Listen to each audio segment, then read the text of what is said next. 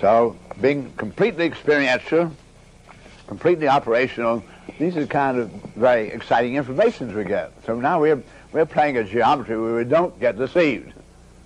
This is very, very important. We're dealing with all those because there's a vectors always. My geometry is vectorial. Now this brings me then to explaining to you a little about my grand strategy when I was young, saying, I don't think the nature has a department of physics, mathematics, I've said that to biology, and has to have department head meetings to know what to do when a leaf drops in water. I said, I think she has only one department. I would like, if I can, to find what it is, because the, phys- the chemistry of it says it's very simple. It says H2O. That's way it associates, and it's very beautiful low numbers. So, so if I'm going to do my geometry, and I didn't like, I said, the tall, the geometry where the, where the teacher said this is a ghost cube, and, and it didn't have any, didn't have any uh, longevity, it didn't have any heat, it didn't have any weight. I want to get those qualities in. Now, I'm not the first one to want to do that. The scientists going really back to Babylon are trying very hard to do that when they chose the 60 minutes and 60 seconds as a fraction, hoping they'll be able to correlate it with the, with the circle and so forth for trigonometry. And we have then the scientists having x, y, z coordinates, and then they needed to have those qualities of mass, so they couldn't find really anything. So they're very arbitrarily getting into the, the centimeter. It's nice. It is, it is uh, okay in relation to decimal system, if decimal system is what nature is using. But the arbitrary thing is decimal because we got five fingers in each hand. So the insistence is going to be decimal. So we have the centimeter, one cubic, cubic centimeter, and it is really a cube, cubic centimeter with water, they said. Now we have this what we call a gram.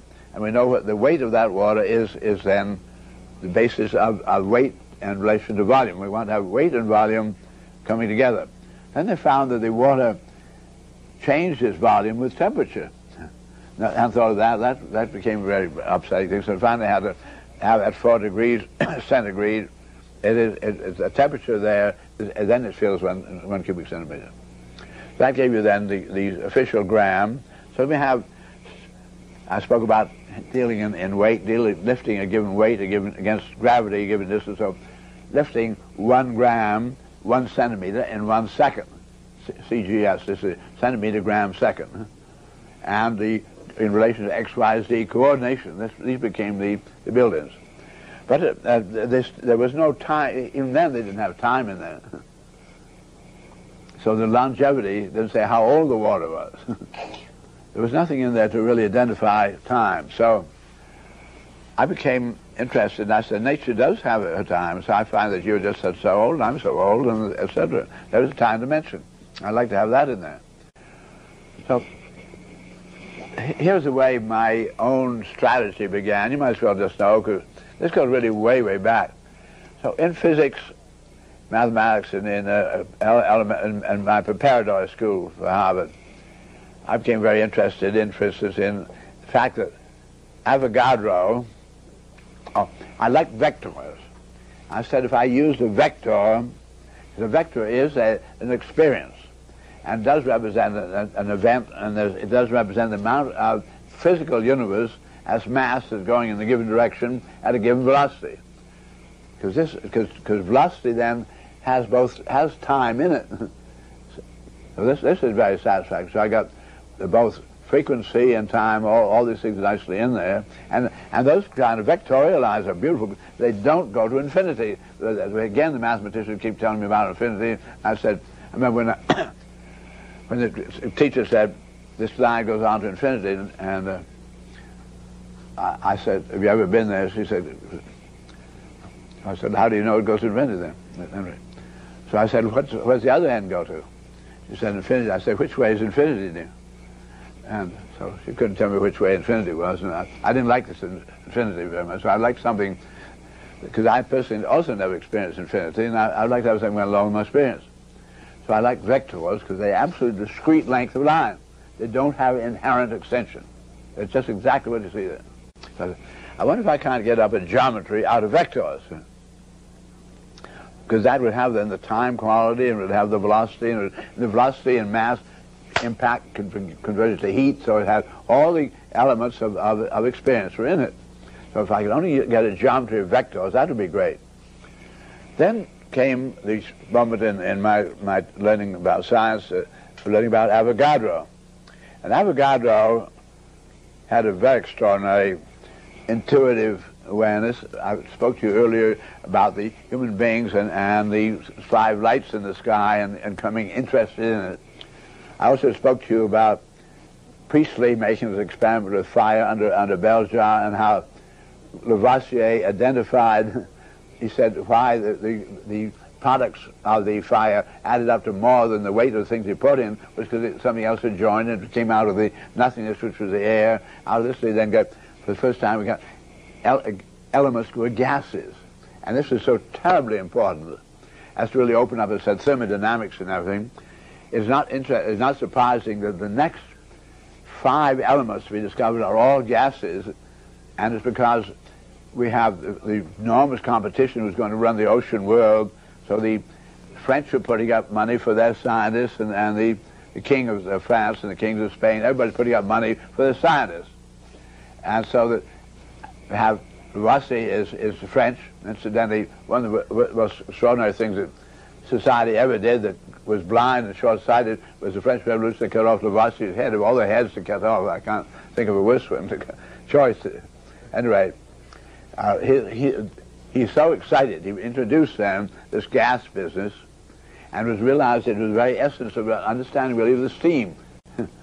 Therefore, English, who, who did want all the great, great pirates at headquarters in England, very, very so they're putting up money for So Cavendish, got, the next five chemical elements found are all gases, all Cavendish. Now we have enormous uh, uh, preoccupation with these gases, and Boyle and others, and amongst them, the, uh, with Italian scientist Avogadro. And Avogadro, very astutely looking at all, comprehensively, not to being too specialized, looking at the total idea of, of total gases. As, his, as his patrons came and said, I want you to catch up with these boys. We, we better, we have, better have better steamships than these other boys, whatever it is.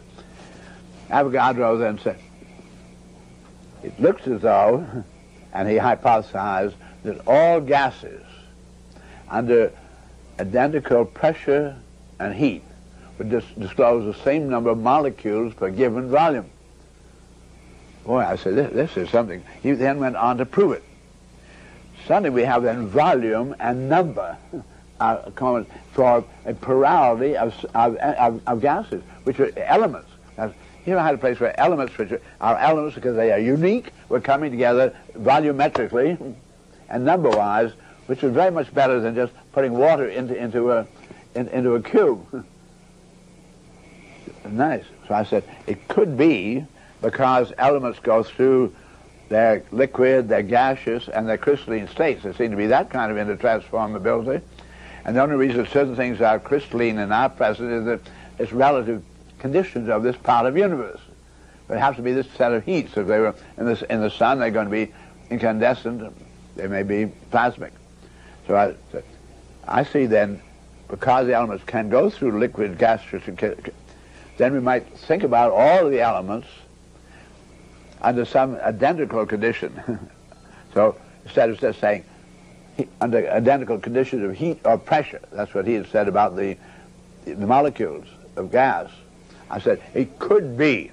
You could generalize that and uh, I said all elements under identical energy conditions, which means either heat or pressure or any of them, under identical energy might disclose the same number of something per given volume.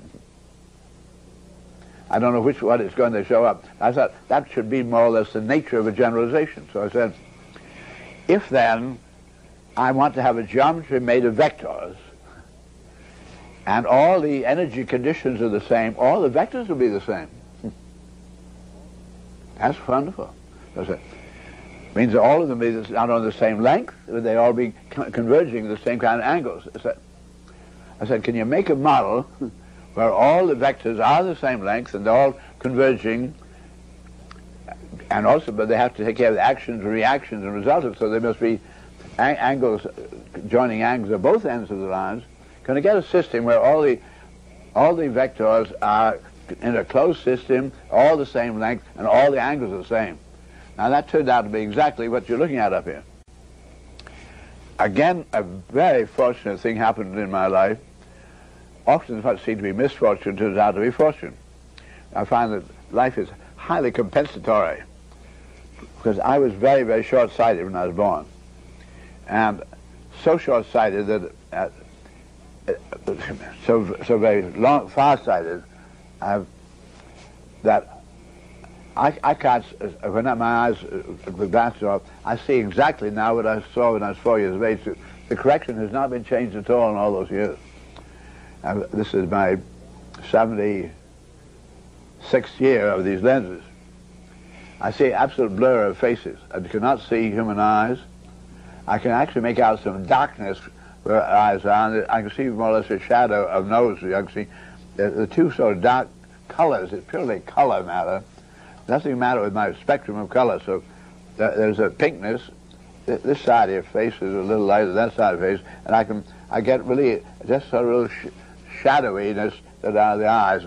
It's like Marie Laurencin kind of a painting and there is there is a little bit more of a pinkness in here, and not, not I could make out little color differentials.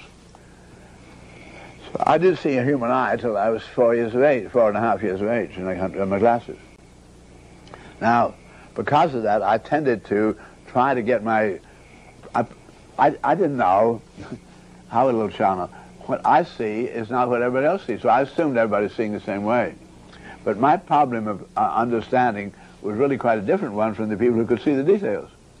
And I had a sister, three years old, and I wasn't. She was always continually telling me the things she could see, and I thought she was making it up. So I, I didn't want. Every child has imagination, so I thought just. I, had been read fairy stories. It's fairy stories. I invent what I could see, and I could see some very extraordinary things. And she, I would always get laughs, and, and my sister didn't seem to get any laughs for her description of what she could see. So you imagine what happened when I was suddenly four years of age, and, uh, and I saw that she hadn't been telling me stories at all. And I suddenly saw hairs. Now, I spoke that there's a compensation here. I went to kindergarten and when before I got my glasses. And in the kindergarten, the teacher had some dried peas, semi-dried peas, and she had toothpicks and she told us to make structures, to put, stick the end of the pea in here, and the, the, the, toothpick in the pea, and we found it could, they, they joined the, the toothpick so that make it make structure. All the other kids who could see, the minute they were told to make a structure, immediately tried to imitate houses. The first thing they thought of. So they were all rectilinear. Now what I did, because I couldn't see at all, I wanted to feel something that feels good so that a, a, square, those forms didn't feel right, but when I got to triangle, it felt great. So I felt, I could really feel that as nice and stable. So now, I'm, I've made literally a structure like that. And I remember the teacher calling other teachers from the from the other school there to come over and look at it, and they were all very surprised at my why I made this strange thing. But uh, purely a consequence of my not being able to see what I was not, not trying to imitate something. I really make structure, and I, I got to it felt right. you can understand that as somebody going around groping the way. It's a purely matter of feeling. And you, a, a, a, anybody work, working in, in, clay would just have that kind of feeling, whether it's going to tip over or not, it's cohering.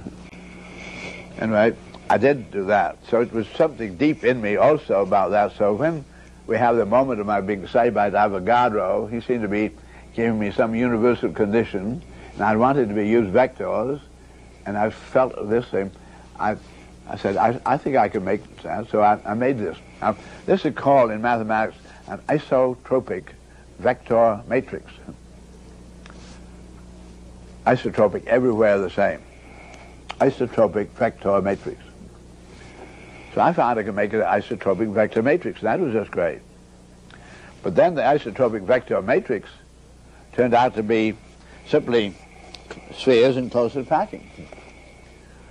Remember our, our two, the me and the, and the otherness, and then we suddenly come together here, and then suddenly we roll around on each other. these little, these little balls are really great, the styrofoam ones to play to get the feeling of that rolling around. From where I am, the fact that I'm rolling, you, you don't really notice that. The profile stays just the same. And so then I, I get the three of them rolling together, and then I get the one on top nesting in it, the four. And there, there, there's your six vectors, and so spheres in closest packing, all the same radius, unit radius spheres, closest packing, they simply automatically come out the isotropic vector matrix. now, listen, we're getting in, we were interested in atoms and how the atoms behave and, and the volumes, uh, numbers per volume and all those things. It seemed every kind of way this is very satisfactory matter. It was at that point that I also then said, I'd like to see about a nucleus. That's what brought me then into finding then the 12, 6 around 1 and a plane, and 3 on top and 3 on the bottom, giving the, then the, the vector equilibrium. I would like, all, we got a lot of these balls, and I really would like you to uh, do some experiments with them yourself, uh, because I don't want to slow, slow picture down too much here. And you're all getting pretty well versed here. Now, I've also given you tetrahedron and I've also given you some, some uh, the idea of Euler's topology, that vertexes and the numbers of the edges are not the same as the vertex. Remember that for every vertex we're going to have three edges and, and two faces. That's absolute relative constant abundance of those in the universe, in addition to the two, to polarity two-ness which has to be taken care of. And that was what was not recognized by the topologists. They didn't realize there was a hierarchy we never understood there was this hierarchy I'm finding. I've completed my own discovery to come then where tetrahedron was unity, which we didn't see how absolutely logical it was. It was a minimum omnitriangulated vectorial model. And, and, and a cube just didn't work. It just was, it, it, it was very uncomfortable. So you can see how quickly I really got into, sort of spontaneously, into, I want to see how, but this is the way a, a child carries on. I'm just going, I think, of all the things that, that uh, I find, uh, I, I don't think anything is quite so important as naivety. just cherish your naivety. Don't let anybody try to belittle you because they say you're naive. This is the most beautiful thing we have. So I, I think that I, I was very naive many times in the as a sort of off character, sing the wrong way at first with the teacher and everything, and then I, I didn't. With my big glasses, I was kind of ugly looking character anyway, and I and never was any teacher's favorite. I'll show you. In fact, often I, my, my friends discovered that to such an extent they found that they could they could play tricks and I'd be the one to get the blame. It, it, it was sort of a standard matter in every class I was in. I, continually having to stay after school and so forth. And, and when they stay after school, then the teacher's rather nice and got saying, you really like mathematics very much, and I'll, I'll teach you some more. Actually, at, at Milton Academy, where I was, the mathematics teacher said, you, I think you might just well go on to, in, the, in the college mathematics. And, and so I was really, I went through a whole lot of mathematics when I was still in school. So simply, this is this afternoon time. And I was being penned in there anyway, so it, it came out fine. That's it. There are compensations that go on, and the kids didn't know what favor they were doing me. I didn't know what either. I, I don't want you to any time think that I'm being something abnormal or smart here. I, everything that's happened in my life here so far, as far as I can see it, comes really out, out of the circumstances, the physical circumstances. And this, of all the things, I think is my, not having being able to see properly, nothing was quite so important. Because at four and a half, imagine if you've never seen a hair, you suddenly saw a hair. And you've never seen a dewdrop before. Can you imagine? I hadn't seen eyes. Particularly eyes, particularly eyes of creatures, eyes of those kittens and, and eyes of the snake. And these I seem to be able to talk with people with eyes. I, I just love snakes and toads, and they like me, and we get on and fill my blouse up with them. The people holler about that. But I, I want you to understand, I don't think anything went on here with me that wasn't just a very normal, fantastically normal, normal, average character with certain physical deficiencies at the outset which get fixed up. Because at four and a half, I really started life all again. Imagine you get a second chance. And I'm sure that through the years, when things went badly, I was, I'd say, because I couldn't see it first, I would say, when I don't see and I don't understand what's going on here, I think all I've got to do is to wait a little. there must be something in me psychologically that came about through that delay and a second sight, a second take, where you really suddenly understood. I think this has helped me to hold on and hold on many times to the total package. And certainly that business of not being able to see details, I was having to put together smelling and hearing and touching, which are very much less effective than the, than the, uh, than the seeing. So I was using a three, three-way system to sort of to zero in. And, and so I, I personally, my, my, grand, my grandson tells me not sure that I'm really being effective with human beings I say this, but I'm confident the only thing that is important about this particular character, me, is that I do represent an average character, more or less getting peeled off by, by, something something wrong, like the kid's fooling you, so you get peeled off the afternoon. I, I found myself getting isolated more and more, but to give me more and more perspective on the show, and tending then to see long distance, to put together big patterns. When I say then, as far as I'm concerned, I am very clearly a demonstration what any human being can do if they're disembarrassed of, of, a game where society is trying to make you specialist, trying to, uh, and, and, and, no question about society doing what it did in great love. the grown-ups really feeling enormous affection. They're sure they're doing the right thing for their kids. There's anything but malevolence in here. So I don't think again you can see anything if you have if you assume bad or good in here. You have to really understand how people got caught in the picture they're in, why people do, they don't. That's all to do, and you may find out something. Now, I have some more slides I'd like to go on. Oh, I, something I'd like to show you here because I find the, there are five of these balls, and five sets of the tetrahedron been put together.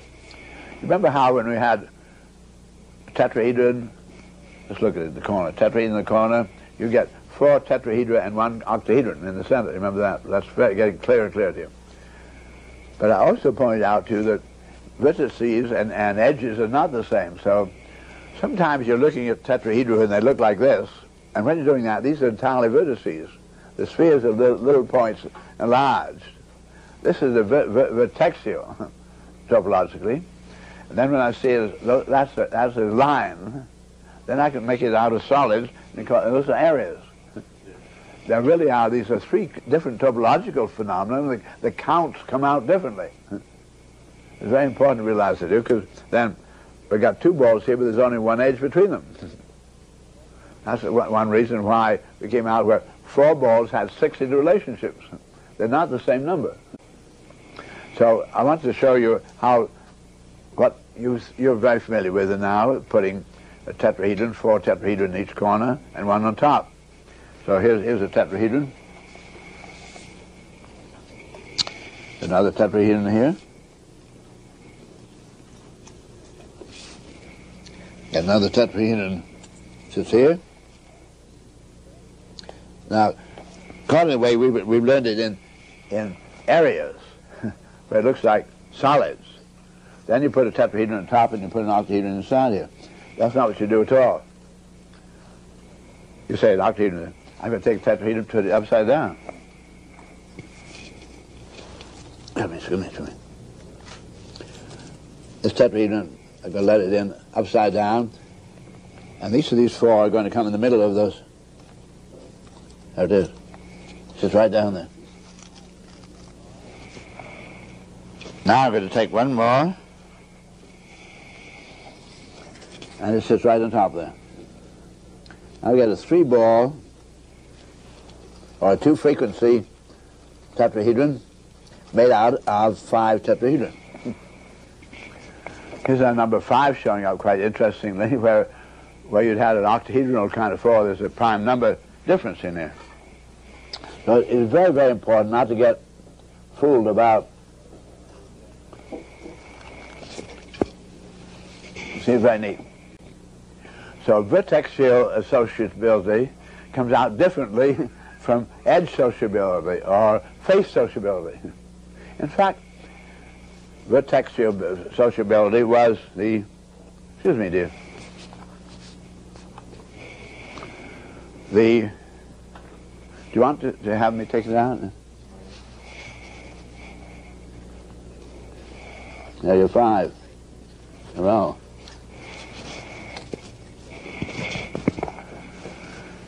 So, vertexual sociability is universal joint. This is where the gases are, remember? and edge sociability is liquids, still flexible, distributing lows, and face sociability is triple bond. This is single bond, double bond, triple bond. And, and then we get the greatest tension, but no, no, no, no, no flexibility, no distributing loads anymore. And this is, this is then is crystalline, this is liquid, this is gaseous. This way where I made my, suddenly found out how to integrate uh, Willard Gibbs' phase rule dealing in, in the chemistries, the liquids, crystalline gases, with, with the topology. So I found they're all the same. And that, that was, again, a, a breakthrough. There have been very many breakthroughs in, in my life that, uh, uh, very, very, that uh, where said you don't understand. For instance, there's something you, I'm sure you've often heard of, the four-color problem. Why, why do you need no more than four colors to do any mapping so that you'll always have different colors between any two, two areas of a map, no matter what the shapes are. And this is simply because nature does work then in tetrahedra. And a system, a map is always going to be on the surface of system. It's not, there's no plane all by itself. No interminable plane. It's always going to be a surface.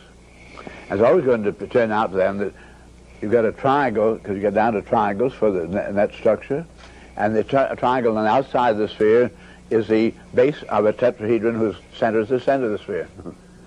and, the, and the tetrahedron is going to come about that way. So the tetrahedron has four colors. And the four colors you have red on the outside, there's a red, the blue, green, uh, and, and yellow on the inside, blue, the blue, blue green, white on the side. You find then these act like gears, and every time you just have those four colors, and you have four, for one outside, you got three buried. so there's a universe of three-way gearing. They just can't come out right. So you can really make a model. This, this, then proves, for very many years, it's been said for really over a century, nobody ever proved the four-color problem so far. But this is fundamental because you and I are dealing now fundamental to systems. I've been able to say absolute limit conditions all the way through. We're at the simplest, and here it is. Okay. I now would like to have the next picture.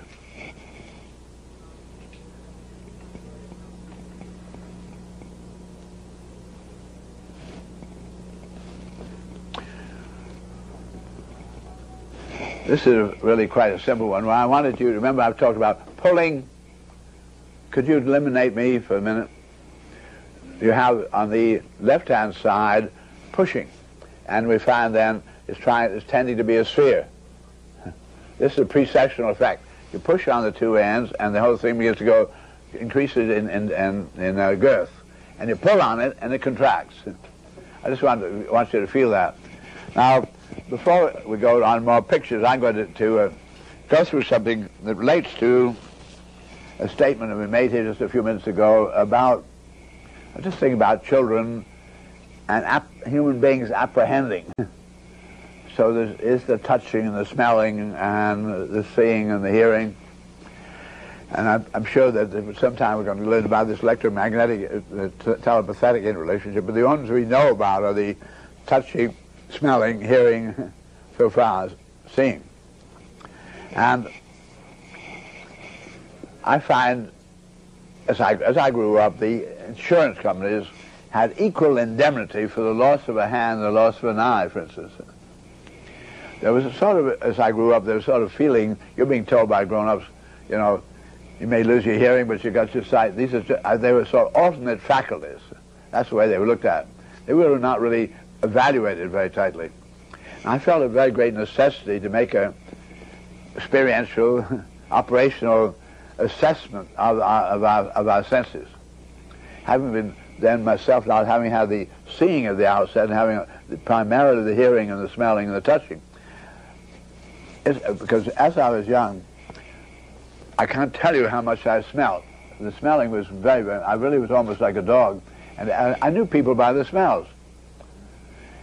To such an extent, and my, my smelling said that just in the last few years, my sensitivity of smelling is going down like my hearing is. It seemed to be nervous, the nerves are breaking down. But through my life, smelling has been so, I always really smelled people first, the first thing about them, and if they smelled wrong to me, they were not going to be my kind of a pal, that's all. There's uh, no question about the smelling. When they looked great, but didn't smell right, I just learned to turn away, you better get away now. There's going to just be trouble. So, now I'm going to go into this assessment of our nerves. And I would like to make a good experiment on a good scientific basis now. And I'm going to take my body uh, and I'm going to bandage up my mouth, my nose. I'm going to give myself an oxygen tube so I won't be asphyxiated. Um, course, I, I'm not going to use it, so I just know that oxygen is very prominent in there, but that's not what I'm dealing in here. It's not going to give me information. I'm going to cover up my ears, I'm covering up my eyes, but all blindfolded. I have uh, own, uh, my, my body. I'm, I'm naked, and I need to get some information. And certainly, I'm not going to, in any unknown territory, I'm not going to step over here. I'd have no experience to tell me that there's step there, keep my balance on this foot. I'm going to try it very, very much before I ever throw any real weight there. Just a kid testing ice. So I'm also going to be, I want something run my head into things too, so I'm going to be doing this. Uh, so as I move along, I'm going to be being very, very tentative, and in every way I'll be acting like an insect. And under these conditions, I find that I would, I would also begin to get a little familiar with the floor, and I'll get to know it. I, I have a good angular sense. I start feeling of orientation like this. If I turn like that, it's going to be like that. I can really feel what comes next here, because there really is a, is a, pivotal effect. You begin to learn just exactly what it's like on your feet. I don't know whether you've ever done this as a child, but off in the country, if there's a place that you've just really enjoyed yourself tremendously, little kid, and they let you get out at night a little, and you find that there are paths. You get so familiar the feeling of the paths with your feet that you can run down that path at night really quite fast, even though you can't see it. Foggy night, you still feel very, very comfortable with your feet. So I would say then, if you just had the touch, you'd gradually learn about a certain amount of territory. And, and it could be fairly large territory. And you feel really comfortable. Within that territory, you would dare run. but with just my legs and as short as they are, I'm not going to cover very much of my, my planet Earth, that's obvious.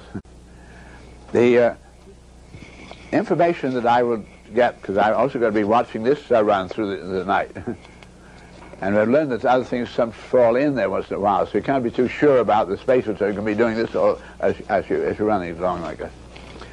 So I see then that the limit of the information that I can reach just standing still, as I start off, is a limit between one toe of one foot and the finger of another.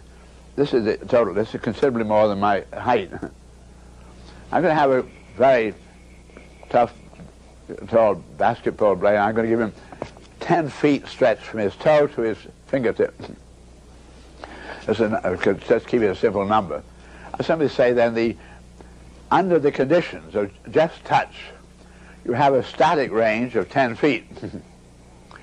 but under the you and I can run possibly up to, say, like five miles an hour, and the amount of time that in a total lifetime, say all the days, about how much you and I would have a dynamic thing where I could run, say, five miles an hour to get information, plus a static reach of 10 feet. So I'm going to put that on, on the board here. We got, talk, on a tactile basis, I'm going to have a range, uh, a static static range and a dynamic range. The static range is going to be 10 feet, and this is going to be 5 miles an hour, 5 mph. Uh, a mile is, is about 5,000 feet. so if I divide 5,000 by 10 to get down to, to 500. Well, this is one five, one five hundredth. This is, uh, so I, am going to call it one five hundredth of, of, of, a, of, of miles per hour. Because I want to get in relative to miles. Now the next thing we have, I'm going to cover up all my skin so I can't get any information from my skin. So during that running, I got information all, all, all over my body if somebody runs it. Uh, and I also felt heat. so now I'm going to cover my whole body.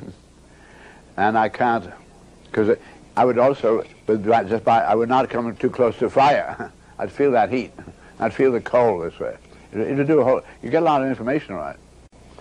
So now I've covered up all my skin, and I, and I can't move anymore. I'm not allowed to do that. And I, and I open up my nostrils. My eyes are covered, my ears are covered. That's all I have. And I, what, what can I learn? We have learned that sailors, time and again in history, on sailing ships coming in from long sea voyages, have been able to smell citrus groves of pine at sea with no, no wind. It was calm, a, a mile offshore. You can smell pine and citrus a mile away. so I've got a static in this new one. This is now the olfactory. And I have in that a, a one mile static against the one five hundredth. And you can smell without, that is one mile static. But if the wind is blowing, it could bring you a lot of smells. And how fast can the wind blow? Well, at, at Earth level, we've up to we have 400 miles an hour on, the, on the, some of the stratosphere, but the level of which you and I operate best we, uh, fastest we have down the Antarctic, so 180 miles an hour. So that uh, with 180 miles an hour, your smells can be brought to you. And often we get forest fires, information about them really considerable distance. But, but I've taken the static, the airs dispel, they get thinner and thinner, so that the mile is as you get with the, uh, so there is a dynamic additive to the smelling. So I might, I think it might, I'll give you 200 miles an hour dynamic added to the smelling.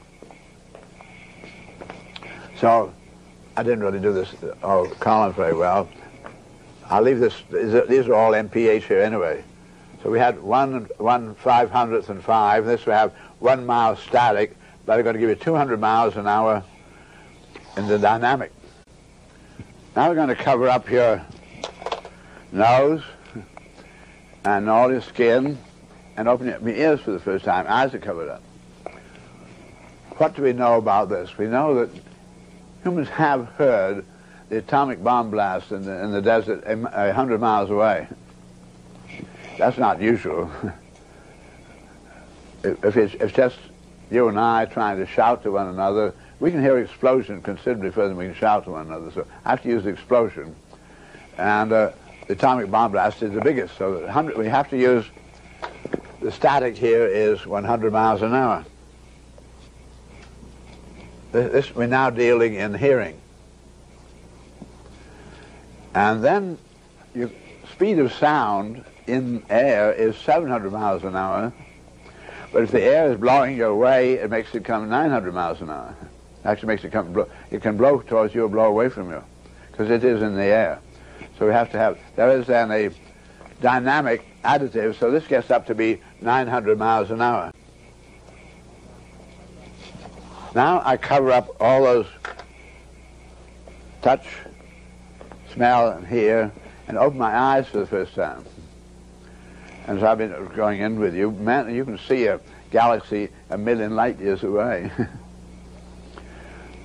I find that the range is so incredibly large that if I try to put down what it is I'm saying, I'll have to take the, that, that's a good one, the one million light years away, so we take our million and we multiply it times six and a half trillion miles per, per year. So six and a half trillion, we had what do you have here? You have your six zeros in your one million, and your trillion you have nine zeros. So you have 6.5 times times one, so 6.5 times one, and you have six and, and nine. You've got 15 zeros. You've got times 10 to the 15th power. This, this is the number of miles that you and I are seeing. 6.5 times 10 to the 15th power. And uh, if we want to say it out, we'd have then, so it said 15 zeros, so let, us put it down that way, 6.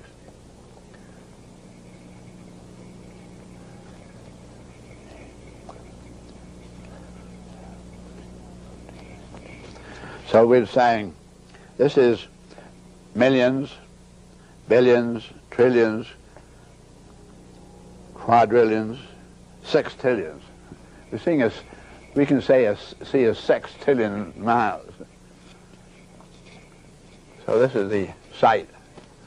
So it, it is it is a credit, an incredible figure. So is this somebody have to write it ten times, ten to the ten to the, to the fifteenth power? It was six times that. Okay. Then the I've got that that was that is a static range. then to that I have to add add the really the that velocity. that was the actual numbers of miles or so. So the velocity which I see is then also then the seven, 700 million miles an hour.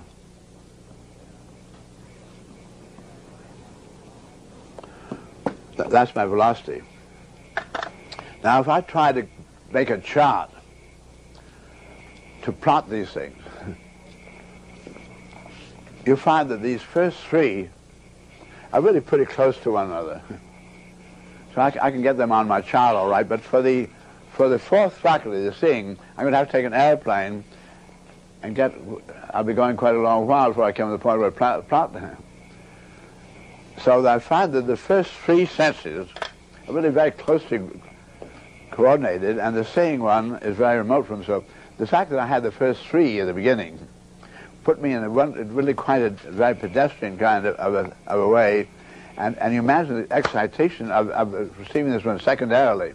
But I think the kids probably using the, the first one primarily and not really realizing uh, what a jump up it is. So again, I think this is part of why circumstance happened to take a very average character, in fact, a fairly efficient average character, and, and, uh, and get, get it into all this trouble. You find me continually then trying to find hierarchies of the experience, trying to get total experience all under, under one chart. This is my proclivity all the time. And now this tells me a lot more. When a child is born, I'm sure many of you, all of you, have been near a newborn child. There's your sisters, your mothers, or some friends. And the little child is lying there, and you, if you notice, its hands seem to move rather deftly. At first, they, they can move their heads and suckling and so forth, but their hands and uh, these motions are sort of spasmodic, the legs, you know, the hands seem to close you'll find yourself tempted, and I, have taught so many people do it, because I know immediately I had a temptation to put my finger in the little child's hand. And sure enough, it closed on it just as deft as could be. It's amazing. See, it feels as though this child is done talking through hand. I like to take my hand away, so immediately opens up. I start to pull it away, opens right up, accommodates, bring it together, immediately couples up. Now, this ought not to surprise us because the child has been in tactile communication with its mother for months. It can't see, it can't hear, it can't smell in the womb, but it feels. So the tactile is there. So tactile is, is already operative when the child comes out, highly developed, very sophisticated feeling. So it's considerably later that the next thing comes in outside the womb is then the olfactory smelling for the udder and so we're going after milk. Then considerably later, the child begins to hear. And the very last thing it does is to see. We find then there is a hierarchy of, of, of relative magnitudes of effectiveness, but they, they are employed in that order. So the, the first one that is used is the tactile, second is the olfactory, the next is the hearing, and finally the, the seeing. This, this again, when you find such an agreement of, of hierarchies, of, of, rates of use and so forth, makes you think a little more about it. So when I begin to think about things I might do on behalf of the new life, in the way of developing environments that will have available within them the, the means for the child to acquire what it wants to acquire in the way of information, because that's what it's going after all the time, information. Couldn't be more after information. And absolutely nothing interfere with it, with that information. And so that I like to have it, get it safely, yet not I'd like it to know that it's going it, it can hurt. It's just like it's got to, no, it's going to hurt you. You got to have some feeling about what that gravity does. But I'd like it not to know it gets hurt, but not so you're, you're, going, to, you're going to be done away with. You're going to get damaged, you know, the equipment damaged. So I'm sure all those things are designable. And they must be thought of in, in this kind of intimacy. Now, something I've just gone through some very simply with you here but this brought me to an awareness. Uh, because, the tension, because the touching is already operative, I find all the other faculties are rated in the terms relatively of the, of the touching. So you say it is feet away, touch. Distance is feet. Feet are hands high and so forth. That's why man began talking. And I find then that all the things he does is rated back again to, to, the, to the tactile. That's it. That's a big one. To such an extent, here comes to me uh, really a shocker. I find that you only see what you could touch. You don't know me by what I'm saying. You don't know me by my hearing, what I'm smelling. You know me by my touch. The dog tends to know me by my smell. But we, we just absolutely take the absolute limit case that you only begin when I can touch you, which is uh, exactly what you, not you.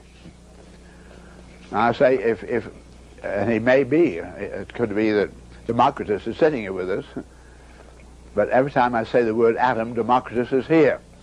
He invented the word, he had the conception.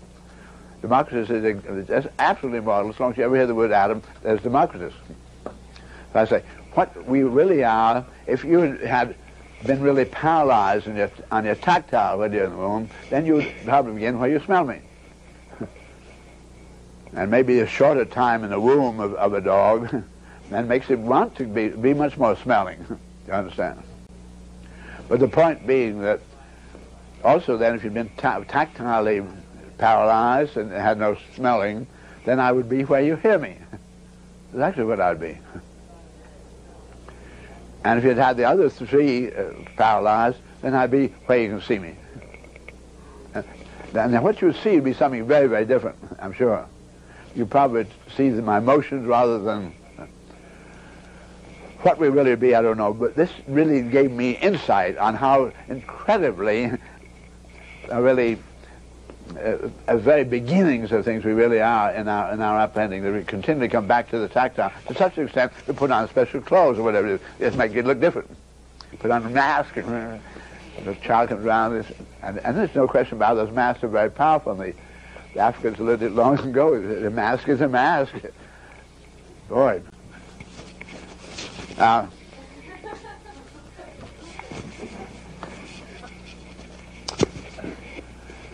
going to like come back to pictures.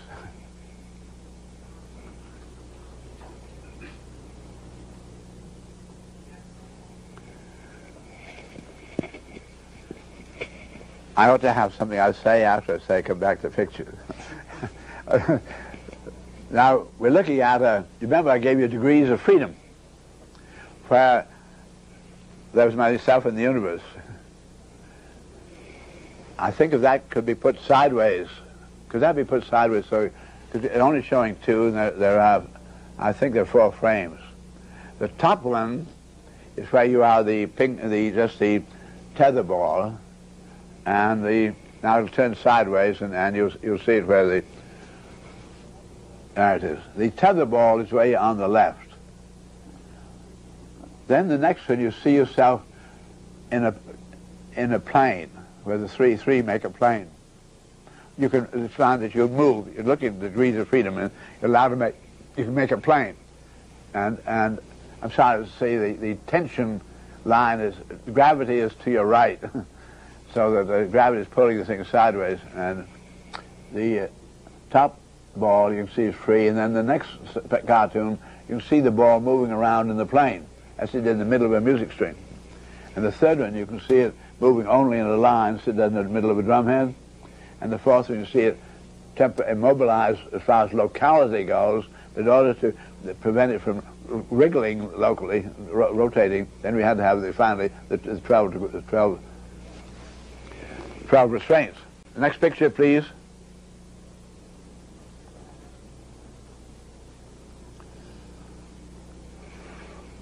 Uh, would you remove me? I've got here a uh, water spout.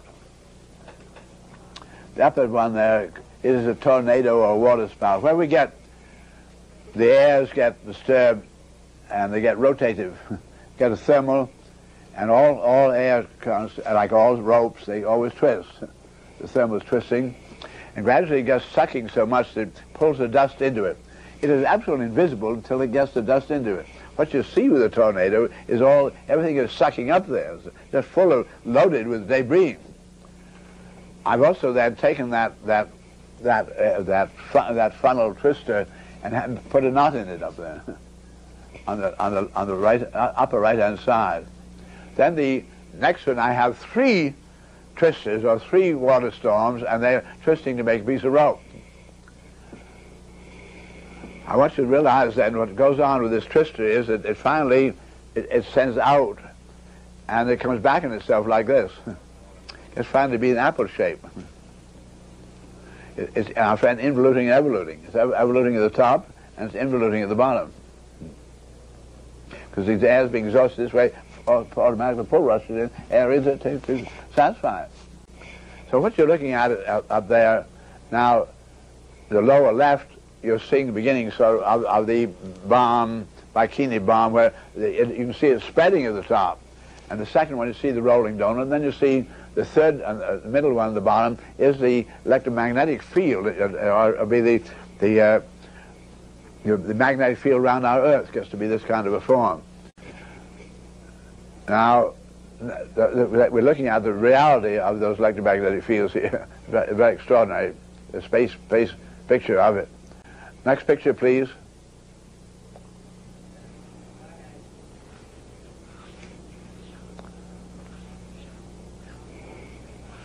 Now I'm saying this is the an atomic the atomic bomb.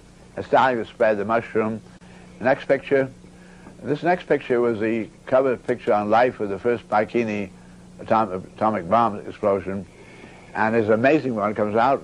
It's a geodesic dome. And you'll find it, again, coming out. It's, it's one of reg, regular geodesics. And it, it, is, it is a three-frequency geodesic. as this thing finally gets really shaping itself towards the sphere, then suddenly these are the, the least resistance forms. Very, very exciting. Next picture. What we're looking at here, you can see is highly geodesic, and it is the model made for me by one of the, the early virologists.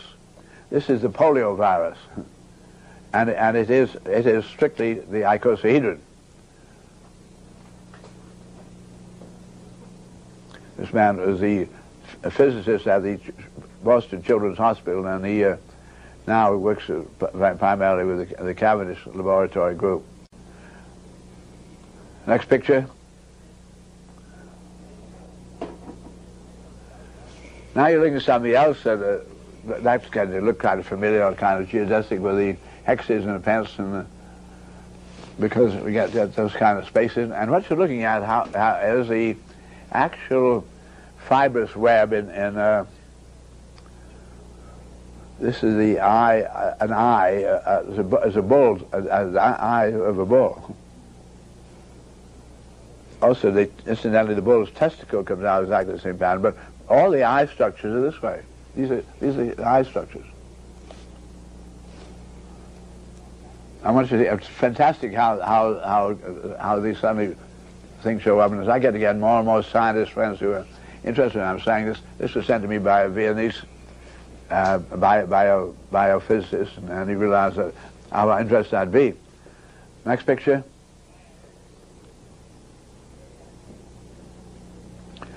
Looking here at pictures, if you could, remove me again from the picture, what we're looking at is pictures made of the radiolaria.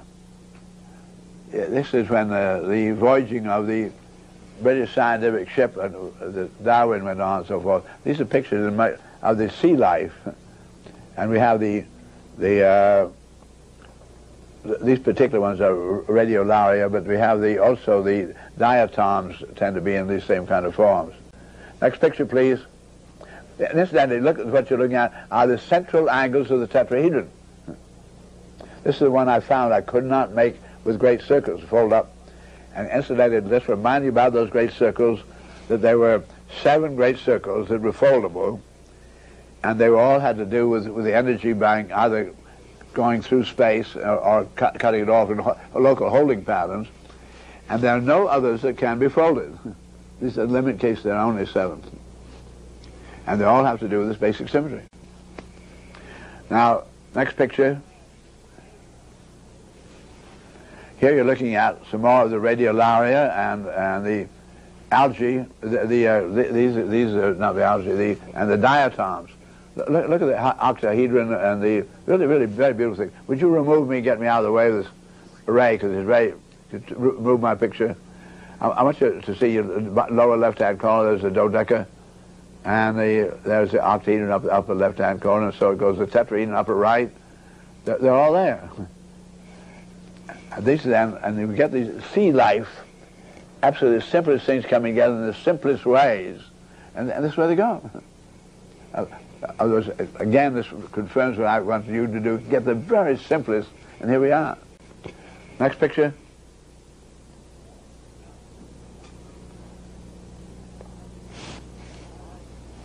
Now, we've got a stack of, of uh, ping pong balls with a red ping pong ball on the top.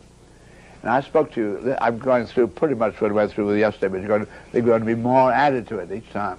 I want you to be really very familiar. There's one red ball on the top other words, it is the only potential nucleus that you and I can be looking at. Let's take that, take the next picture, please. And be a good idea if I were out of the way for these pictures. I've just taken off the top tetrahedron, and you can see the six balls at the top with no ball in the center, right? Next picture, please.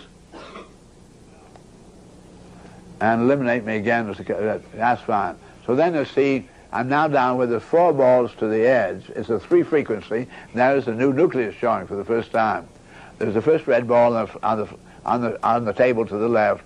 Then the two layers that have no ball at the center. Then the fourth layer has a ball at the center. Next picture. Now no ball at the next layer. Five layer. Next picture. No ball again. That one. Next picture.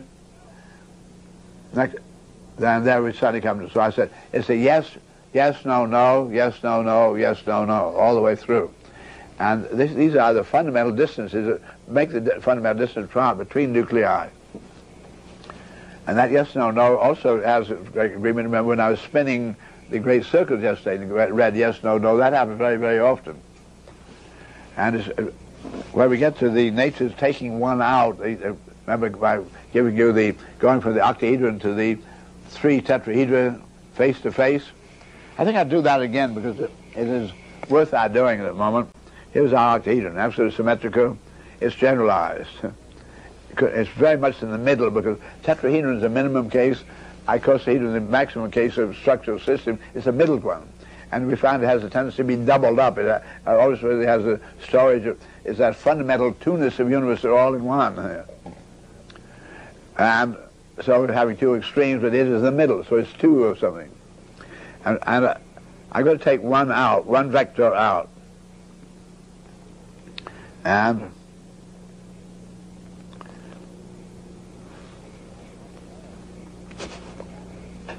just taking it out momentarily, now I'm going to put it right back in but I, I'm going to precess it. Remember, precessing goes like that. There's a precessing effect on it. And so it goes in here, it goes in here. And what we have now are triple bonded tetrahedra. One tetrahedron here, second tetrahedron, a third. So the volume is three, and the volume was four when it was octahedron. So you're literally annihilated, but all the energies are here, because the energies are the edges, are the vectors. So I want you understand how the, this is all there is in, universe, in the universe in physics about annihilation. But the interesting thing about it is, it then also then gets to be the beginning of the tetrahelix. So we're going from the generalized immediately going into the special case. It's, it's a very, very exciting realization. Okay.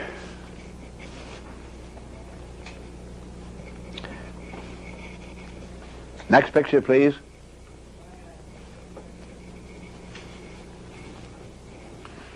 And next picture. Now you see up at the upper right the two red balls, and there are always two layers between them. And what that makes, quite interestingly, is two tetrahedra, but two tetrahedra made of balls rather than, so this behaved differently, you see. If they were planar, they could come face to face. But these don't do that. The balls nest, they go this 60 degree precession. So they're, they're the two red balls, and what do you have in between, six balls, and those are the octahedron. So these two red balls is an octahedron. the basic symmetry between two nuclei, two potential nuclei. That's all that's saying. And it's interesting because it is not that kind of tetrahedron, it's this kind of tetrahedron. It's a nested tetrahedron. If these two were joints, they would come together and you wouldn't see them because they would become congruent in, in, in, uh, in as, as they would bond together. Okay. Next picture.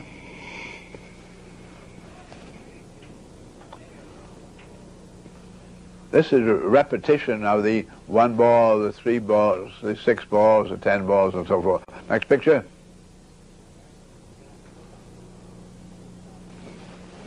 And this is a little review of thinking about, instead of calling it nucleus, I called it the ability to nest. So that one case I'm talking about positively, this is a new nucleus showing up. On the other hand, there's an advantage of being a space where you can nest. Begins with the tetrahedron, second is a one-eighth octahedron, the third is a one-quarter tetrahedron. So these are fundamental increments of, of universe, as really uh, actually spelled out by fundamental dissociability that you feel much more comfortable about using quarter tetrahedron and really looking things that way once you discover that so. Next picture.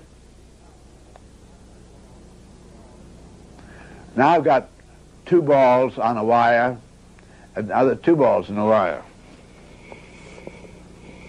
And I want you to see what they are doing. They are remote from one another. the Pass. May I have the just picture? You can leave. Uh, no, no, you want to put me in this picture. I got. What happens to these two balls is that they near each other. And the effective motion is they precess. So they do this and they do this.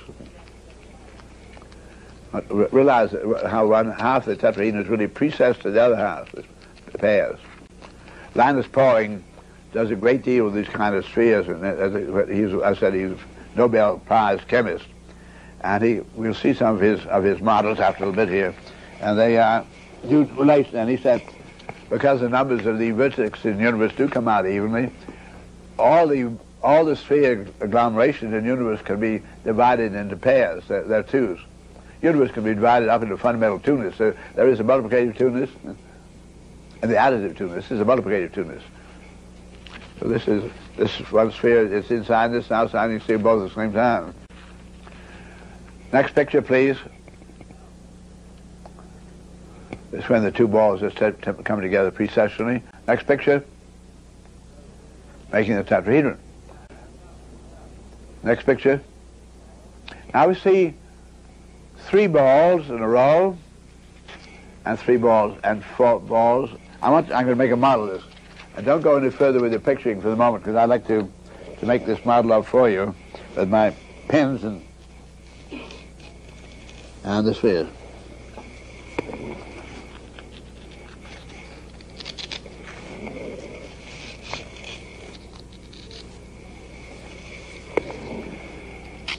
So here's three in a row.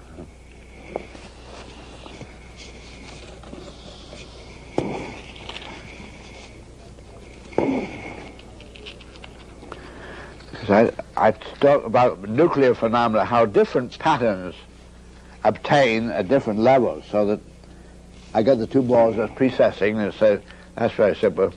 Everything else must do that. But I got a three ball, couple of sets of three balls there.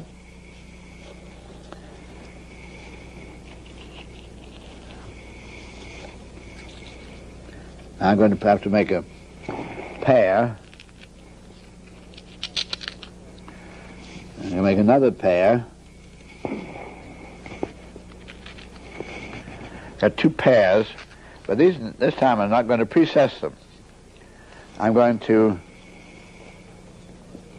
They're not in the precessing part of the story.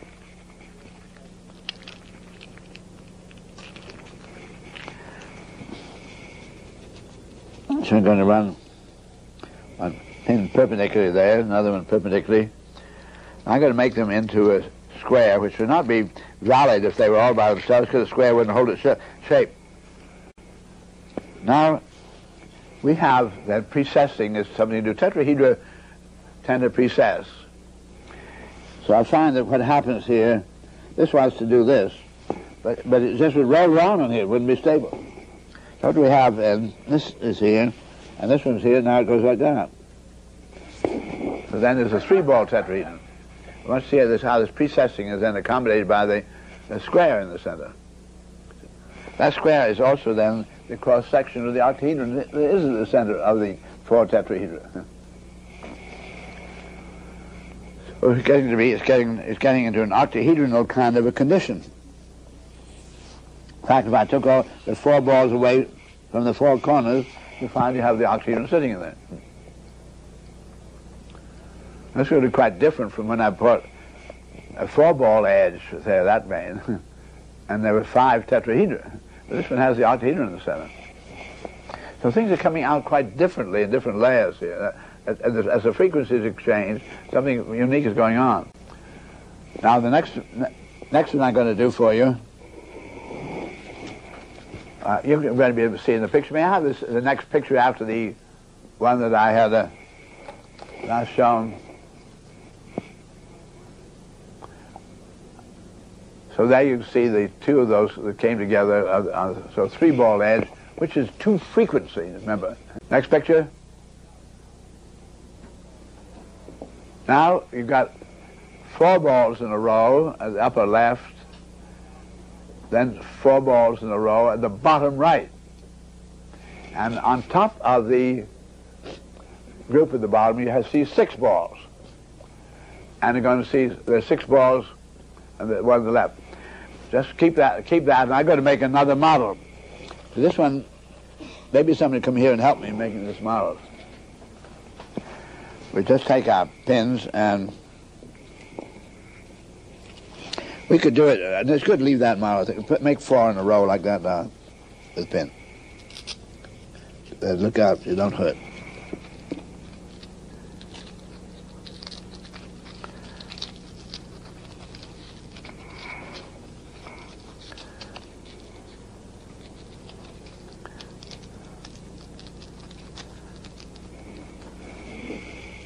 Good.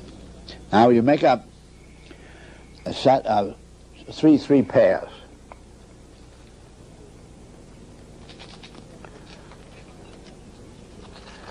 That's a tough ball, so something strange.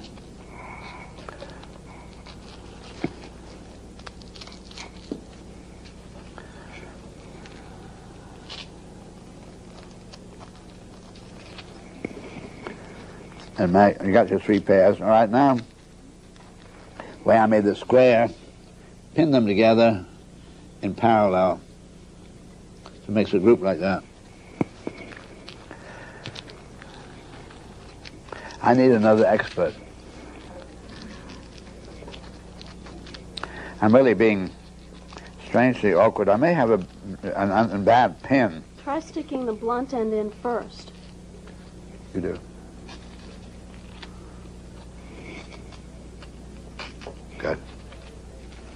Will you be an expert then? When you make what she's made four in a row, make those in a row a little better if you can, Don. And if you could turn, so turn a little bit, get away from each other so that the our camera can look down at what you're doing.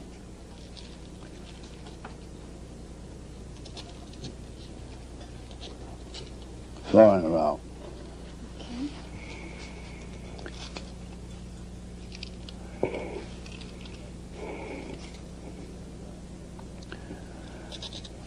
Now you got your six here put together.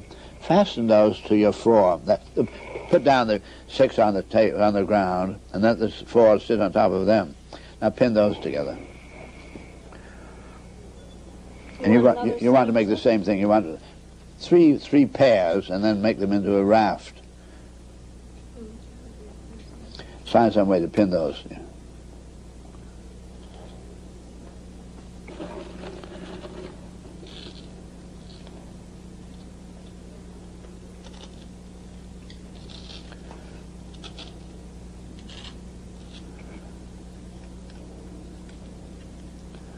Clever. Excuse me.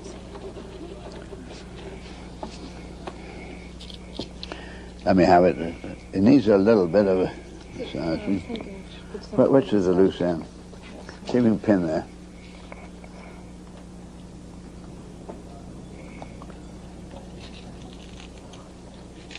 Good. Now, I have had a very interesting time with these particular pieces in the past, and young ladies will, will get up and go back to the seats after they give me the two sets here. And when they do, then the, the cameras can get back in, into more normal array. But here, here is a component.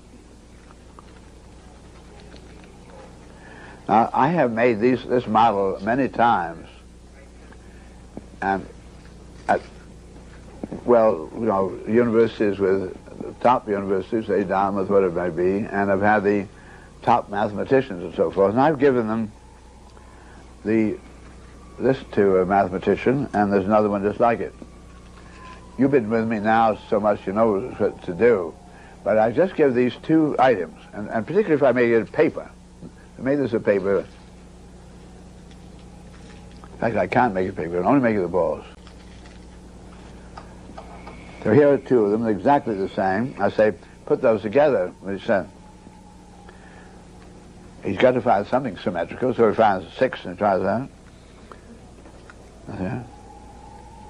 Or you try this, this like that, doesn't seem to do anything. You just, because the six are a rectangle, with completely different dimensions.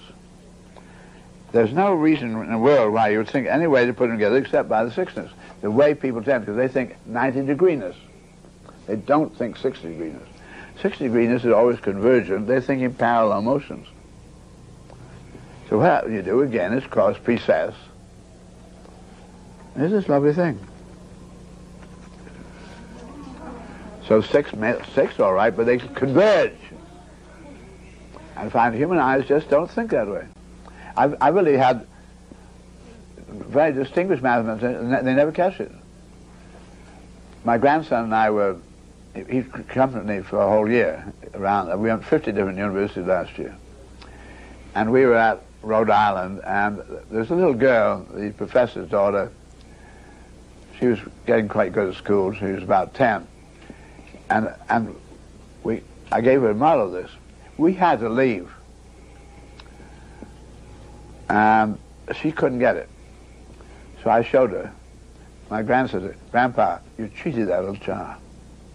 Said, you never get This is what you got to find out for yourself. You had given the child, she would have found out, he said. And you cheated that child the right to find out. And but if you did find out, then you'd feel the 60 degrees. You'd have to explain it to yourself if you found out yourself. Just telling it like that, you'd lose the whole whole beauty of it. So this, this is one of my most beautiful lessons I've ever had. Still proud of that, how to get on with the show, but I was amazed how my no- nonsense as an older man wanted, to feel gratification. I thought, really, you I want to be big, big, you show off to the kids. so, the big thing is here the 60 degree convergence. Everything is converging and diverging. That's the way nuclear things are. They converge and diverge. They don't parallel them. And all of humanity keep working on parallel lines and cubes and squares. That's not the way the universe is. So when you begin to think convergent, divergent, then things really fit. Now, next picture, please.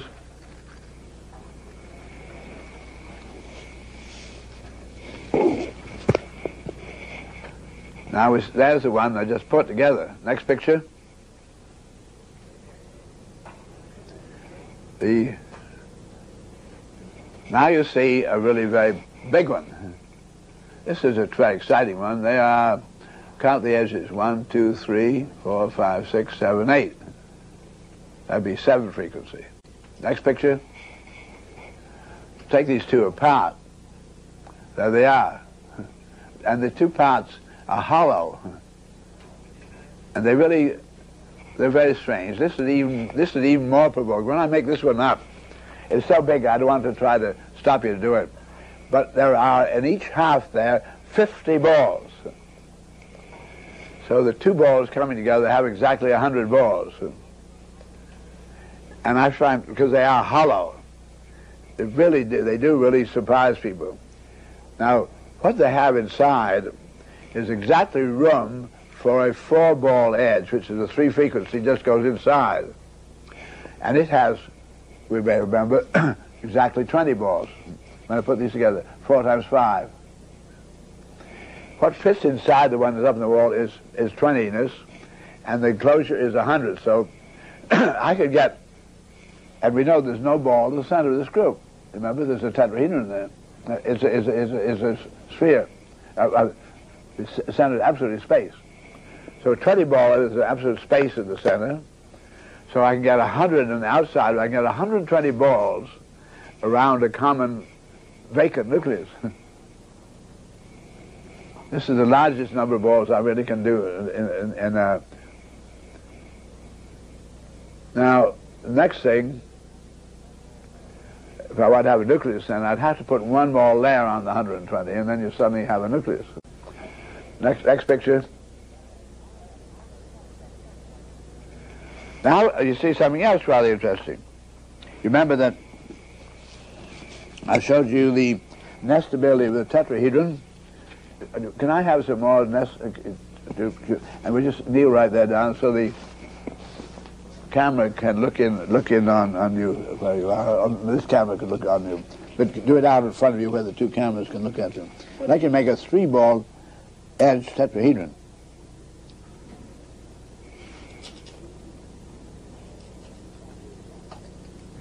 No, three-ball edge triangle. That's all. Okay.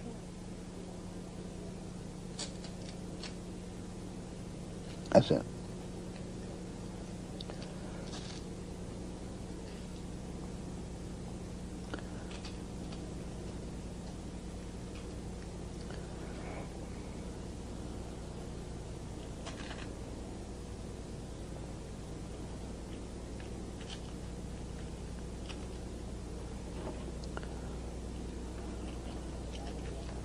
Right.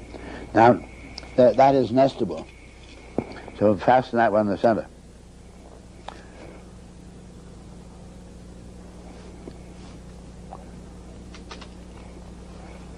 I'd like to make a, another one of the same. You could speed up by coming up possibly. I'm trying to keep these things where, where camera can see what's going on. I'd like another one of those made. But you go back and somebody else try it. Who hasn't made one? Just leaving the floor, dear. We'll make another one just, just like that. That is the second case of nest- nestability, remember? I told you it is a one quarter, a one eighth octahedron. And if you're making one eighth octahedron, you find sure enough the angle is exactly right. And listen, when you do, you think, will you keep yourself turned a little, little this way? You move back over towards this way, and then you, you right? So your hands will be out on the floor where both cameras can see you. Rotate a little more, dear. Good. Work out towards your right foot more. And put your hands further out. Try, try to keep, I'd like you to uh, keep things in the picture so everybody can feel it. Enjoy it.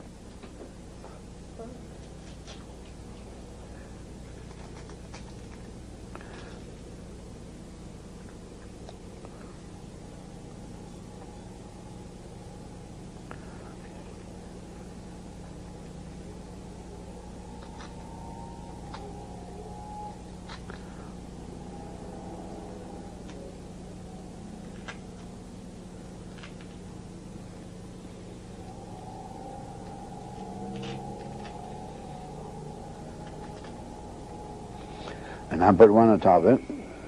It falls by itself then. And fasten it in there. Just fasten it.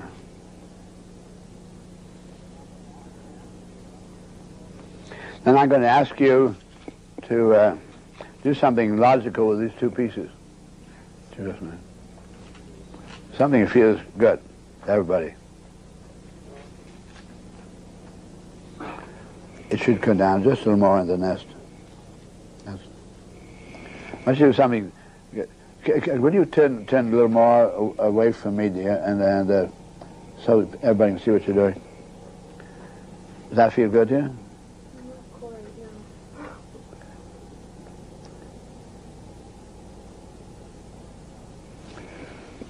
We've been talking about precession. How could you precess? What, what could possibly match there? You match the little little faces of the tetrahedra. Push the central balls down more both both cases. That's it. That's it.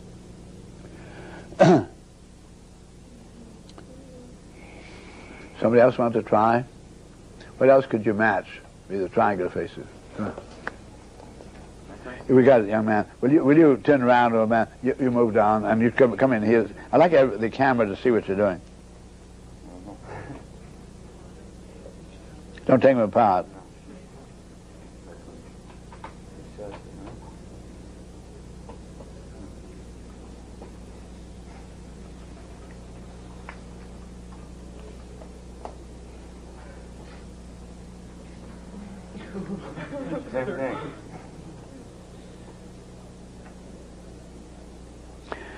Tell you, when you finish, you'll know you're right.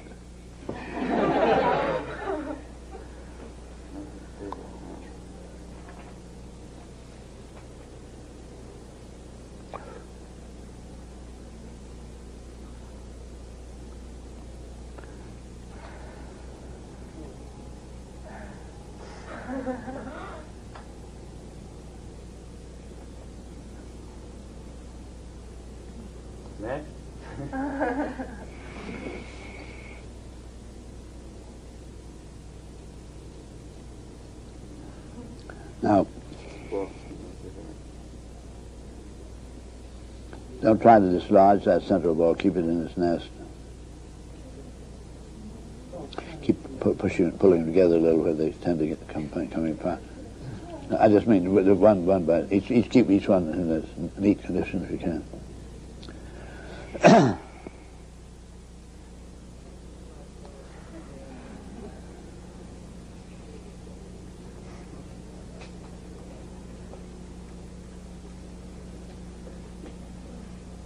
Am I close? Was I close? So close to it that it makes me. I bet she sees it. Keep, keep it around where the camera can see it, dear.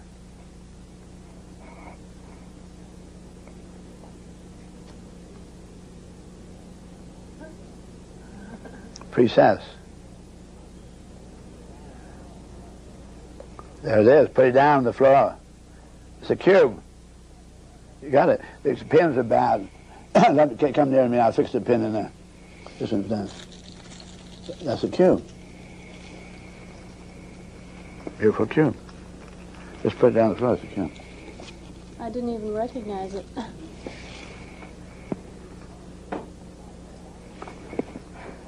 That's because those angles, remember, were the the right angles. It's a quarter eight, and 90 degrees. No, it's gone. One eighth. Uh, it's one eighth octahedron. So two one eighth octahedron give you the cube. They will not do it just by themselves in planar. They will not do it this way. They got to do it only in the balls, the vertexes. Picture. That's going to be up in here in the show.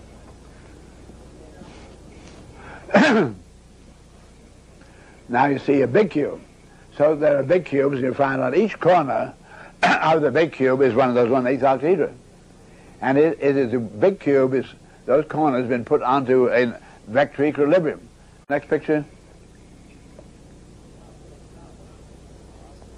There's the vector equilibrium. You're taking the one-eighth octahedra off of the corners of the cube, and that is your vector equilibrium. And it is a count the number edges. One, two, three, four, five. Is a four frequency vector equilibrium. That really is the limit case of, of the nucleus. I'm quite certain that you would get into the, the post-uraniums because you get outside of the, the, the 92 because there's still, this range still is a nucleus. Next picture. Now you're looking at an icosahedron made out of balls, but you cut off the, you cut the balls so they're down to the planar side, so you can see the, what the balls look like together. That's the icosahedron where they, there's no ball at the center. You'll see when you do the counting, whether it's vector equilibrium or it is the icosahedron, you'll find if you cut the balls away like that, the, the pole, the pole ones, the plus two-ness is quite clearly as a different color than the, than the others. The other, the other faces get together where I give you three, come together with two, uh, with one, or whatever it may be, but you, you'll see all the triangles coming together, giving the, the second power area. But the numbers of balls in the outer layer will be frequency the second power, and then the poles of plus two, and you always see the balls are right there. The count is there every time. It's a really very beautiful thing. Next picture. The, uh, these particular models are supposed to show it to you, and somehow or other they, they faded away. You can see the icosahedron there. This is where you get the multi-frequencies, and I want you to understand how well they work for this single, just the plain tetrahedron, or where you see then there are 30 faces to the uh, 20 face icosahedron. They break into 10 diamonds. Remember how the diamonds then complement? So you're looking at 10 diamonds grasping each other here, blacks and whites. There's always one extra North Pole, one extra South Pole. It's a lovely thing make the count. Next picture. There it is, vector equilibrium. And the poles have been identified there. Next picture. This coloring is really quite badly faded. That's the same one you saw as vector equilibrium becoming the icosahedron. But it cannot have any layers inside or it would not be able to collapse into it. So no matter what the frequency is, it has to, the icosahedron closely packed surface, it can only be one layer. And I'm quite certain this has to do with its electronness. The, I, the uh, icosa's uh, electronness cannot have the nucleus, but it has the same count as the equilibrium, which is the nucleus. Next picture.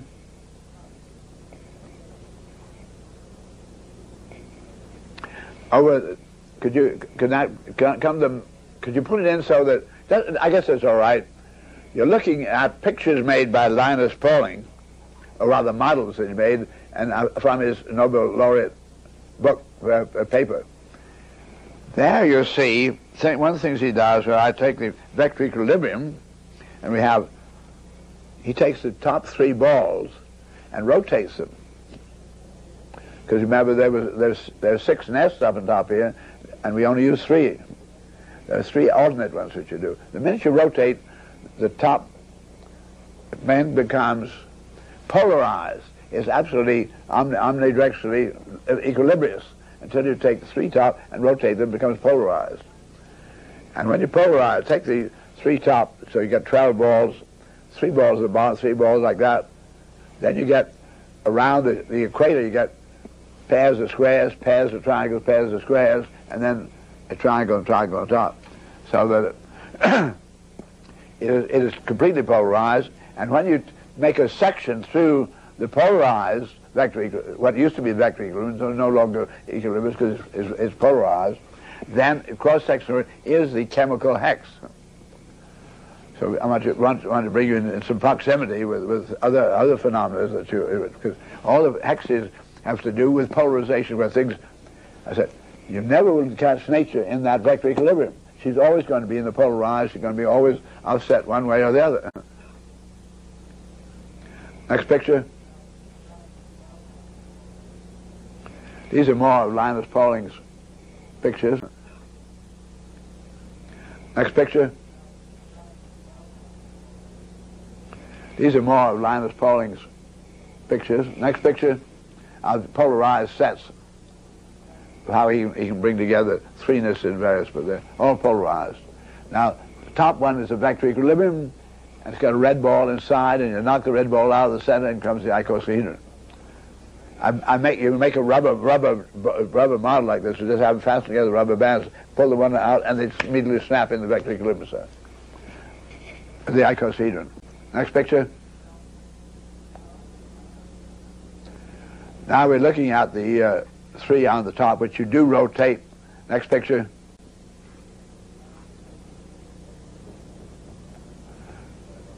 To go, I want to show how, the, from the polarized to the vector equilibrium, just rotate them. Next picture. Now we're beginning to look at a little larger vector equilibrium of, of uh, are four balls the edge, so it's a three frequency vector equilibrium. And then notice then there's a triangular face towards us, and there's a red ball at the center. There's a new nucleus beginning to show in the eight faces, but will not be a nucleus till it has its two layers around it. Uh, but this is this is the one that has 92 balls in the outer layer that I gave you yesterday, 42 in the inner, and 12 in the innermost. Now you, I've opened that up so you can see all the different layers as they come together. And these balls have different colors when the amount of light that they get from the nucleus are different. So I've talked to you about trying to find a nuclear set of events that would repeat itself. And, and so I get absolute uniqueness for those first three, four, up to the four, the, the fifth begin to get something repeating. But uh, the, these colors relate then to the amount of right, light or radiation available or the fraction from the central nucleus to any given, given layer ball. Next picture. You see on the top one, the corners, 12 corners are always direct contact where the light goes right through them. Next picture. This is a picture taken through one of my models where the, I've used the beads, which Mehdi found over there the other day. They're lovely, lovely beads that developed during World War One, very uniform radius, and they, they're glued together. And I used trans, they're all transparent, but some of them are colored. You're looking at, at, at the vector equilibrium. Remove me now, so I'm not in the way of the picture. And I, I want you to see what, really quite extraordinary kind of thing. The bright white lights uh, of the 12 corners, you can see how they go. This is simply giving, there is a red at the center, because you'll sense what I mean by the, the relative amount of light that can come through to different balls in different positions. and this particular model, we get that looks, you, you find an enormous agreement with much of the, of the light emission microscope kind of things of, of atoms. Next picture.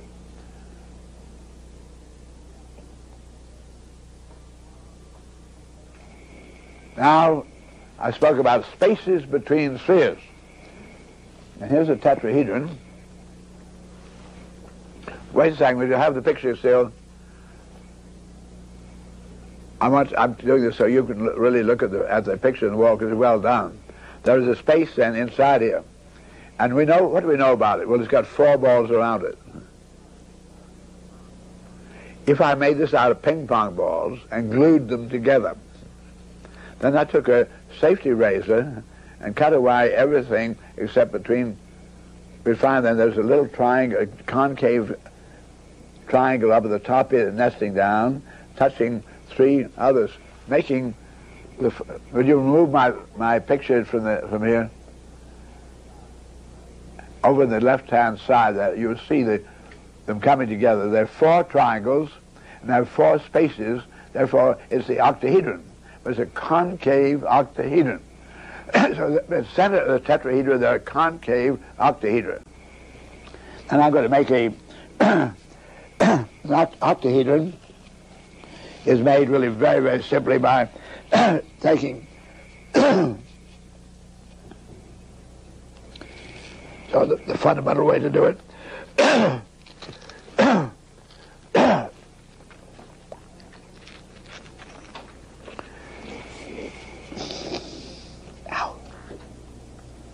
But again, in a hurry, try to pull pins out doesn't pay.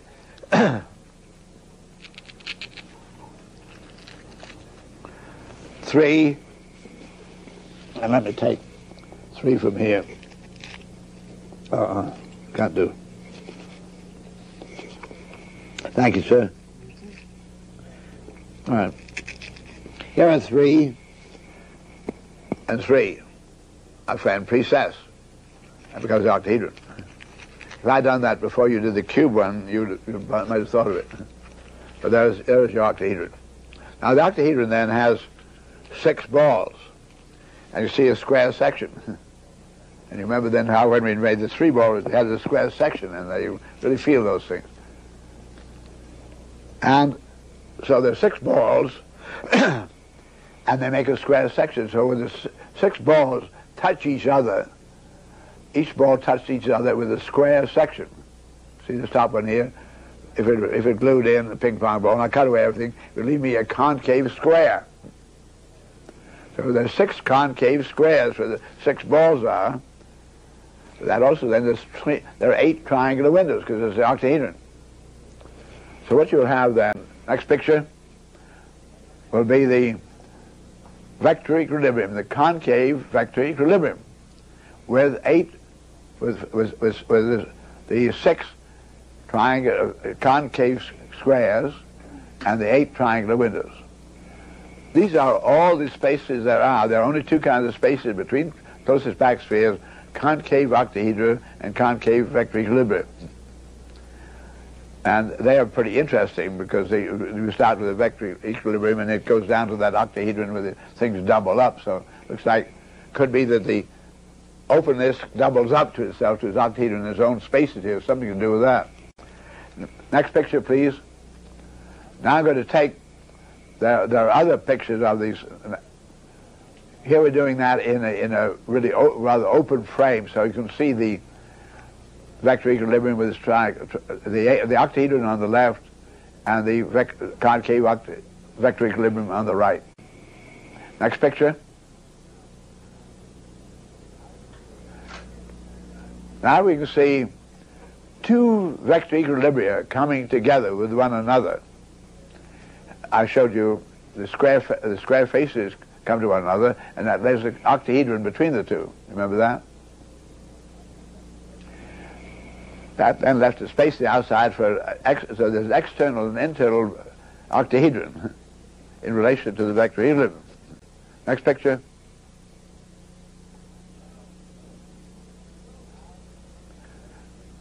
Now, what you're seeing there are a number of the actual ping pong balls. In the lower right-hand side are the concave octahedra.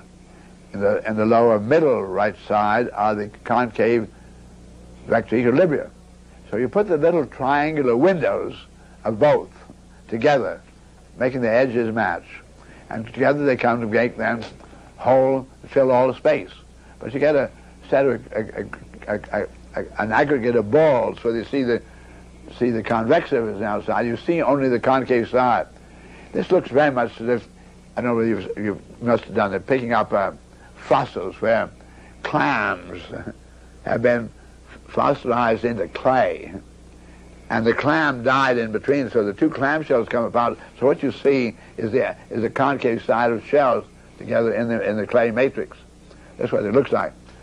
But if you keep putting these together, and they keep filling all the space. But the outer, the outer group will always be in the concave side. So what we're now seeing is really very interesting. There's some relationship between spaces and spheres. And remember that they were nests that you didn't use because the, the aggregate of the three only lets you use one set of the nests at a time.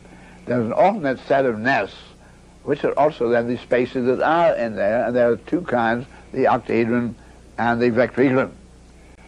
Now, next pictures.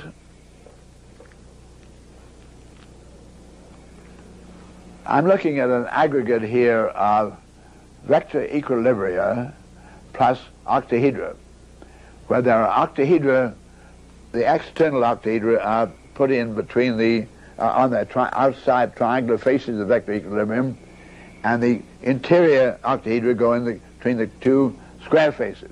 You're going to see some more pictures. Help. Next picture.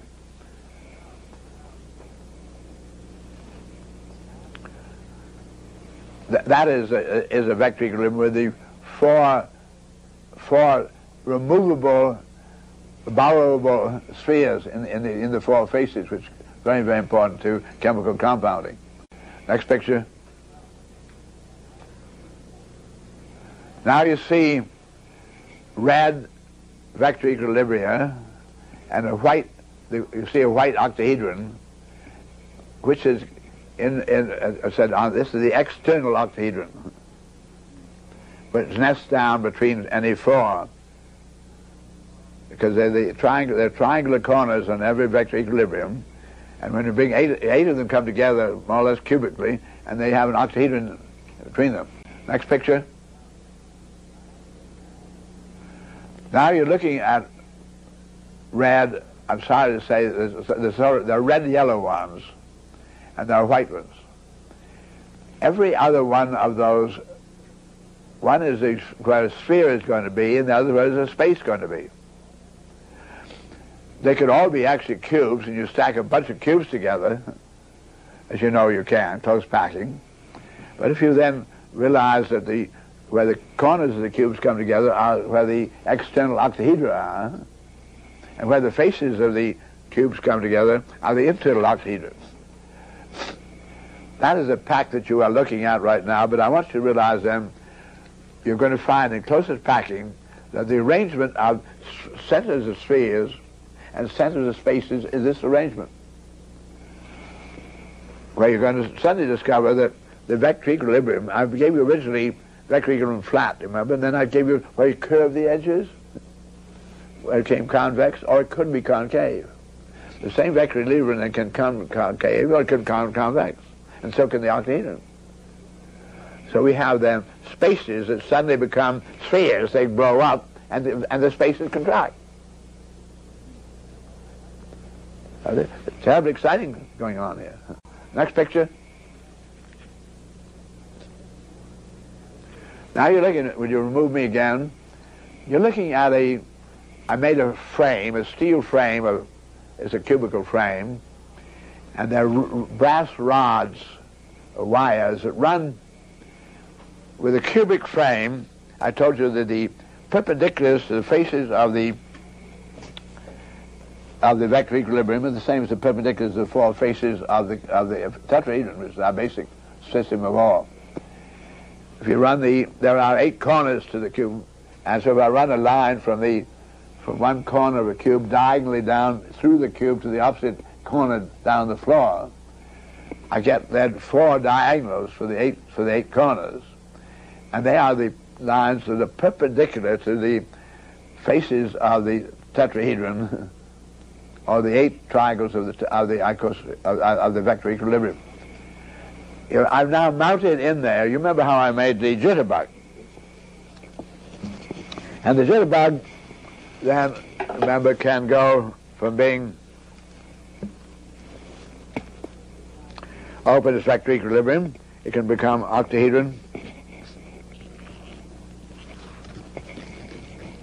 And what you're looking at, I've made, I put little transparent plastic, uh, uh, they use plexiglass, I've red, red triangles and white triangles.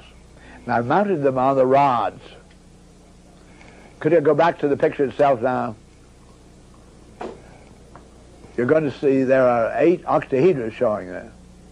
But if you look very carefully, you're going to see some white or clear sheets. those are the vector equilibria. there are vector equilibria, and the octahedra, those are the, those are the external octahedra. Now, on they, they, the, each of those triangles has a, we put a, a stovepipe rivet through it, a, a journal made of brass. We're able to mount the, those triangles are on the rods. the triangle's corners are tied together with a little Dacron thread so that they are vector equilibria. So the vector equilibrium is open, and the the red ones are vector equilibria that are closed into the octahedron state like this. We found on that frame, we put carbon dust to, so everything was slide the very best. I took one pencil and pushed one face of one vector, the white clear vector equilibrium, the open, just push on one face. There's one force operating the whole system, and the vector equilibrium collapse, all the vector equilibrium collapse, and all the, uh, all the red octahedra open up. But it's a very three-way kind of affair, I assure you, because due to there being internal and external octahedra. Uh, but what happens when I push on there, every sphere becomes a space, every space becomes a sphere. Now you come to this kind of, of an aggregate, for instance, in a liquid, you to see how you pierce through a liquid. Because the, the spheres keep getting out, keep coming to space. this to me is a very extraordinary matter because now this is made symmetrically. There are the eight octahedra that you see showing, and there there are the uh, there I think there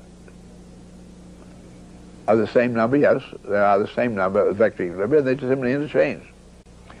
What you, in this model, because they're all mounted on those wires, as as remember this thing rotates, it opens.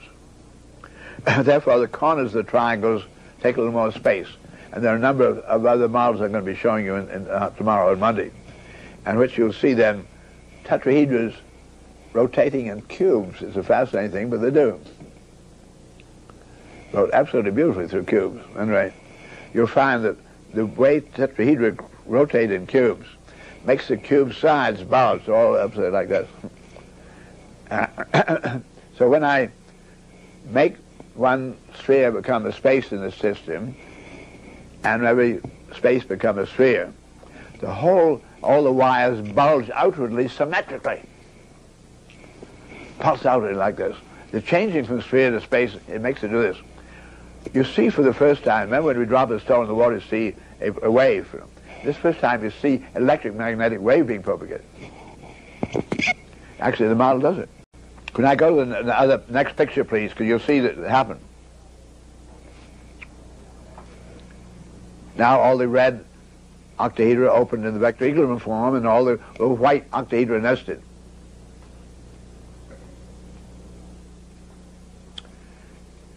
I have this model in our Cambridge office. It's, a, it's, a, it's, it's, it's quite old. It's, it is uh, 1951, 71. It's 23 years old, and it's getting a little poor, but but it is, to me this was the was the sort of the supreme moment of of, uh, of, of, of synergetics when I realized you're really seeing electromagnetic wave form in the eye. Now, I think this is a very good place to stop for, for Sunday. It is now almost half past three, 20 after three. I, I would like to keep myself fresh. You, uh, how many? How many? Can you tell me how much, much time we've done today? Today, we've been on it since uh, ten thirty.